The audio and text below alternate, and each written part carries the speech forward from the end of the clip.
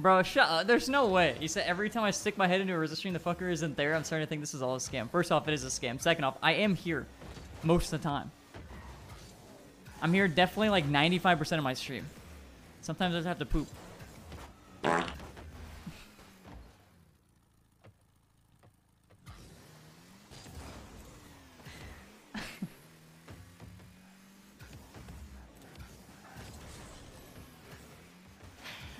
Oh god. I can't explain that one.